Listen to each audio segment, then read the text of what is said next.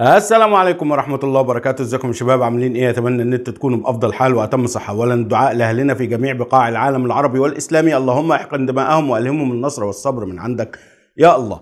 مانشستر يونايتد بيستضيف فريق شيفيلد في مباراة مؤجلة من الجولة 30 يا معلم والمباراة بتاعت الجولة 34 اللي انت المفروض تلعبها قصاد نيوكاسل هتتأجل للجولة 37 وتحس كده إن أنت إيه الدوري الإنجليزي كارف على الدوري المصري اللي هو ما فيش فرقتين لاعبين نفس عدد المباريات وفي جولات بتتاجل وناس ما بتتاجل لهاش وتحس إن الحاج عامر حسين واخد فترة معايشة في الدوري الإنجليزي أو إن الدوري الإنجليزي عندهم عامر حسين بتاعهم وشوية أخبار كده متعلقة بمانشستر يونايتد خصوصا وتحديدا بإيريك تنهاج اللي كل أسبوع والتاني بنلاقي أخبار هو ماشي لا هو قاعد لا هو راحل لا هو ماسك فيها لا هو معرفش إيه. فيلا بينا دوس like للفيديو واشتراك في القناة. معاكم محمود بدران مجنون يونايتد. وتعالوا نتكلم عن أخبار مانشستر يونايتد ومباراة شيفيلد.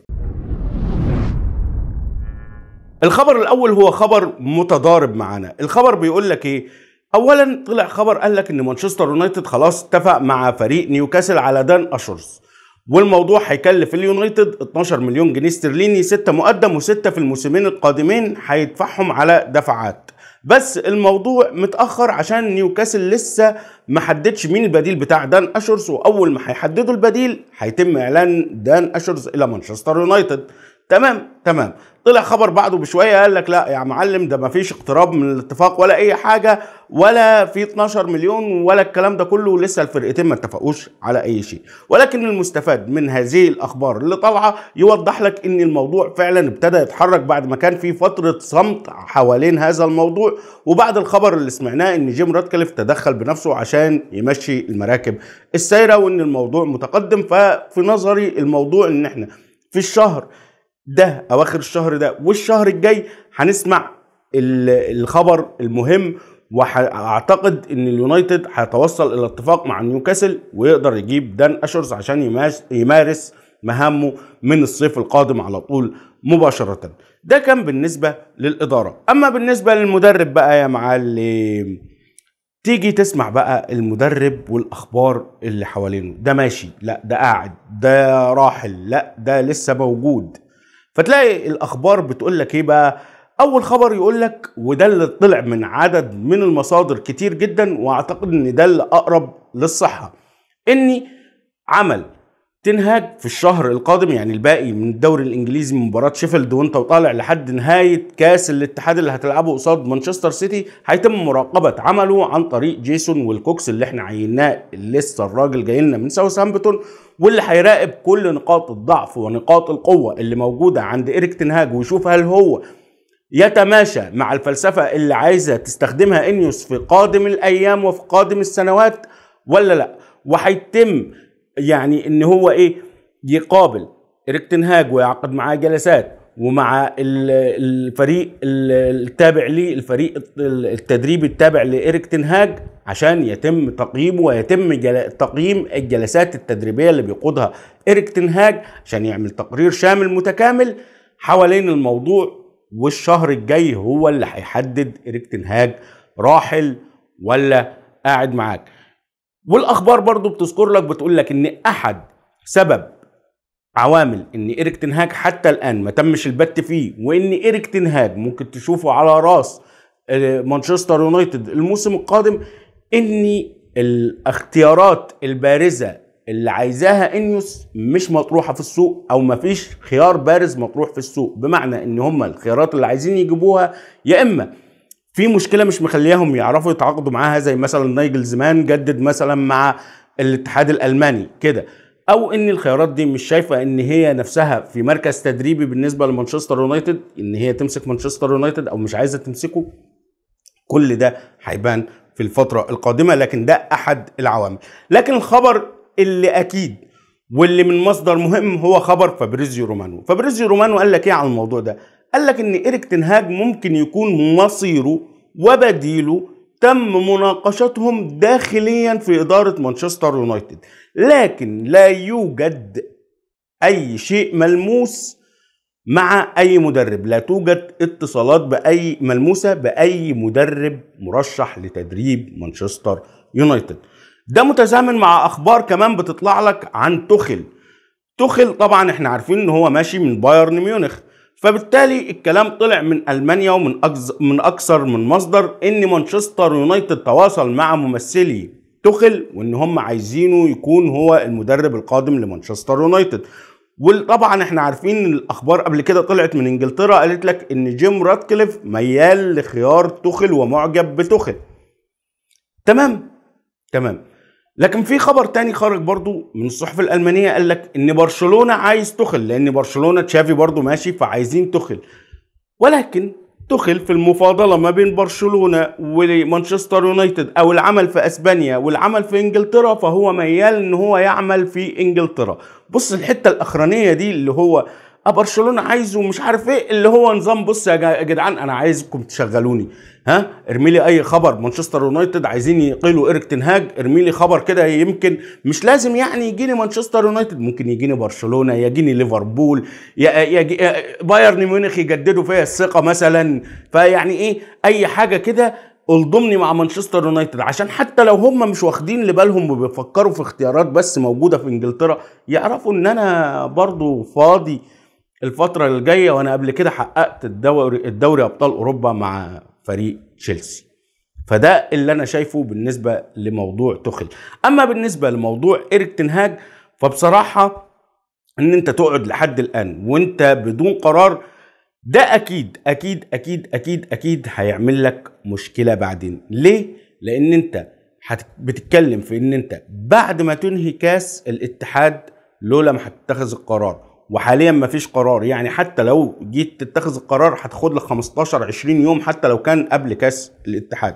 فبالتالي في فترة صغيرة جدا عشان تقدر إن أنت تجيب مدرب وفي فرق كتير محتاجة مدربين فبالتالي ممكن تلاقي خياراتك بتطير لأن في حد اتصل قبل منك بيهم. فقد لا غير. في حد عرض عليهم قبل منك فأنت فقدت الخيار ده. فتلاقي نفسك لا طلت بلح الشام. ولا عنب اليمن لا انت استمريت مع تنهاج ولا انت جبت حتى البديل اللي انت كنت عايزه. فتقع في مشكلة. إن انت كده بداية الموسم مش عارف تخطط له. ما عنديش مدرب أو هجيب حد بانك باي. ما كانش في الحسبان. فجأة كده اسم اوعى. ده فلان والله قاعد فاضي يا عم وما بيدر هاتوه. هاتوه يدرب يمكن. يمشي معانا ما ينفعش نمشيه بعد الموسم ده وخلاص ونبقى نشوف بقى الموسم الجاي هنعمل إيه. فاهم؟ فاللي هو ما بني على باطل هو باطل. فأعتقد إن أنت المفترض دلوقتي تكون كونت فكرة عن أنت عايز إريك تنهاج يكمل معاك ولا لأ. من خلال الجلسات اللي بتعقدها معاه وبتشوف أفكار الراجل ده للمستقبلي هل هي موافقة معاك ولا مش موافقة معاك؟ هل أنت شايفه على أرضية الملعب مش الأساس فيه هو المدرب بنسبة كبيرة وممكن ينصلح الحال وممكن يتعدل لو عملنا واحد اتنين تلاتة ولا لأ؟ شايف إن هو لأ يبقى اريك تنهاج يمشي. شايف إن هو ممكن يتعدل يبقى ريح دماغك واريك تنهاج يكمل وخلص الموضوع. لكن أسلوب إن أنت ماسك العصاية من النص لآخر وقت هيقلب عليك في النهاية. طبعا جيم راتكليف الراجل تم سؤاله عن مشروع مانشستر يونايتد. والراجل رد بدبلوماسية يعني وقال لك إيه؟ الجماهير صبرها نفس وأنا متعاطف معاهم.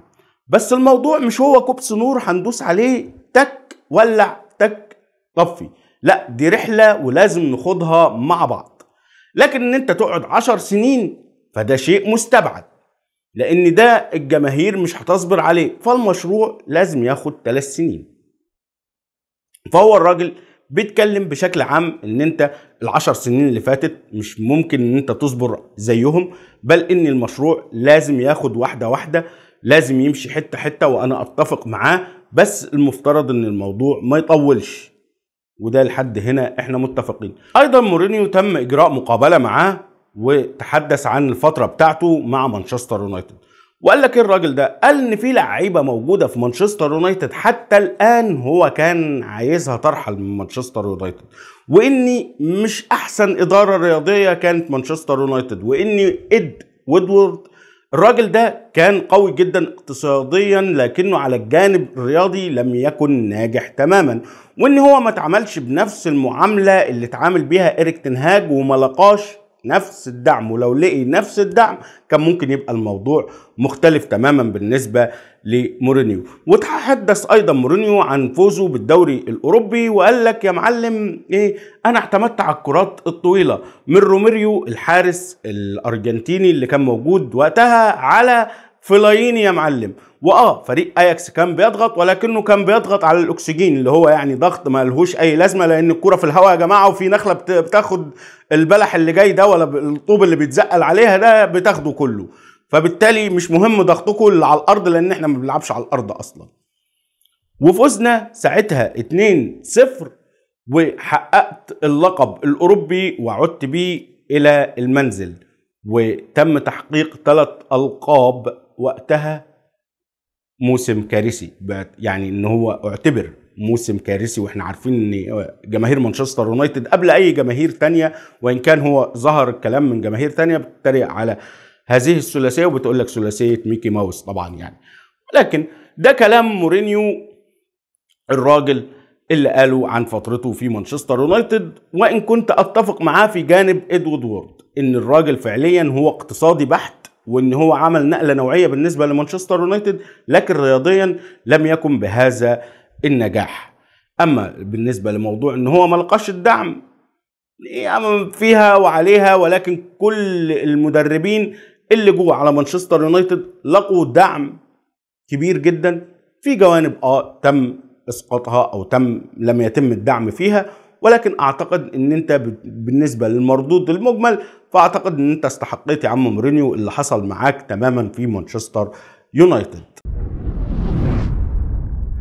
نصل إلى مباراة شيفيلد يونايتد. المباراة اللي ممكن تقول إن هي مش مهمة للطرفين يعني شيفيلد خلاص هو مش رسميا طبعا هبط وراح إلى الشامبيونشيب لكن ما أعتقدش إن هم هيقدروا إن هو يعني يفوزوا بالمباريات الباقية كلها والفرق اللي قصادهم تقع عشان هم يعدوا ويبقوا في الدوري الإنجليزي. فكل واحد ضامن مكانه ما فيش إلا مانشستر يونايتد اللي هو ها ممكن نلحق دوري مؤتمرات دوري أوروبي من خلال النتائج الباقية لكن إن أنت تلحق دوري الأبطال ده شيء طبعا صعب تماما. وإن كان في رأيي يعني المباريات الباقية أدي أداءات قوية لا ولا أقل ومش مهم عندي إن أنت تروح أوروبا في أي بطولة من البطولات لما ما تكونش هي دوري أبطال أوروبا. طبعا المباراة دي مؤجلة من الجولة 30 زي ما قلنا في بداية الفيديو ومباراة الجولة 34 المفترض مع نيوكاسل هتلعبها إن شاء الله في الجولة 37 لما تلعب الأرسنال. يعني الجولة هتبقى دبل أرسنال ونيوكاسل مع بعض. يا معلم فهي شكلها مغمقة يعني من دلوقتي. المهم آخر عشر مباريات ما بين الفرقتين اليونايتد فاز في 8 منهم وتعادل في واحدة وخسر واحدة. الخسارة دي كانت آخر مباراة ما بين الفرقتين في الدوري الإنجليزي وكانت على أرضية الأولد ترافورد. انتهت 2-1 لشيفيلد. طيب شيفيلد فاز في آخر مباراة 2-1 على أرضية الأولد ترافورد. لكن آخر مرة فاز بمباراتين متتاليتين على أرضية الأولد ترافورد كان الكلام ده في 1973 بالنسبة لليونايتد في مباريات وسط الأسبوع هو لعب أربع مباريات. المباريات دي دخل فيها 22 هدف من الطرفين 12 لليونايتد و10 للفرق الخصوم. وده أعلى معدل بالنسبة للأهداف بواقع خمسة ونص هدف في المباراة على مستوى هذا الموسم. بالنسبة لشيفيلد يونايتد لما تيجي تبص عليهم تلاقي إن هم لعبوا في وسط الأسبوع خمس مباريات في الدوري الإنجليزي وآخر خمس مباريات دول اللي لعبوهم خسروهم كلهم على الرغم من إن هم بيسجلوا هدفين على الأقل في كل مباراة. فإحنا موعودين بمباراة هيكون فيها أهداف من الجانبين. في ظل بقى الإصابات اللي موجودة عند مانشستر يونايتد وإن ماجواير لعب مباراة كوفنتري وهو مصاب وإن إحنا ما عندناش مدافع غيره وكازيميرو بيلعب جنبه وإصابة كمان راشفورد وخلافه إيه التشكيلة المتوقعة؟ التشكيلة المتوقعة هتكون كالتالي أونانا في حراسة المرمى دالو بيساكا كل واحد على طرف طبعا دالو على اليمين بيساكا على الشمال كازيميرو وماجواير موجودين في قلوب الدفاع. قدامهم كل من مكتوميني ماينو برونو فرنانديز على اليمين أنتوني على الشمال جرناتشو وفي الهجوم هويلاند. مباراة أداء فيها لا أكتر ولا أقل. الناس حاليا مش مهتمة بإني مانشستر يونايتد أو الجماهير مانشستر يونايتد هينهي فين؟ طالما إحنا مش هننهي في دوري الأبطال.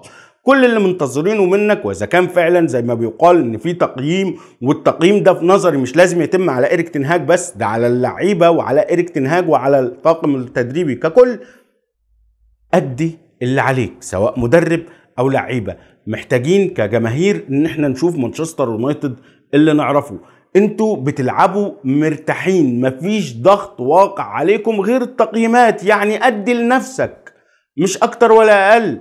أدي لنفسك لا أكثر ولا أقل. اللي مش هيأدي أو اللي هيتبع نفس الأساليب القديمة هو اللي هنقول له مع السلامة باي باي لأن أنت ما تنفعش معانا. لكن جماهيريا إحنا محتاجين مش أكتر ولا أقل إن إحنا نشوف كورة. يعني اللي شفناه في مباراة كوفنتري في الشوط الأول ولحد الدقيقة 70 اللي كان بيحصل من مانشستر يونايتد ليه ما يستمرش المباراة ككل؟ واه على فكرة بيقال إن إيريك تنهاج بعد مباراة كوفنتري ده زق الباب ودخل غاضبا في حجرة الملابس والكلام ده كله. وإيه يفيد؟ آه أنت غاضب وإحنا غاضبين و... بس إيه يفيد؟ ما أنت ملطوط واللعيبة ملطوطين برضو. في الموضوع عودة كوفنتري. فإحنا مش عايزين نشوف نفس الأسلوب لأن استمرار نفس الخطأ ده بيدل على إن في مشكلة في المدرب ومشكلة في اللعيبة. بل إنها في المدرب أكتر منها في اللعيبة. محدش هيعترض من جماهير مانشستر يونايتد لو فجأة لقينا إن الفريق بتاع تحت 18 اللي فاز بالدوري الإنجليزي هو اللي بيلعب. ويخسروا. مش يكسبوا كمان ويخسروا. أغلبنا هيقول آه الراجل خلاص تعب مل من الأداءات اللي بتؤدى في أرضية الملعب. لكن هنلاقيك بتصبر على الشخص اللي مش بيأدي بشكل قوي في المباراة لوقت أطول من اللازم لأي اعتبار كان.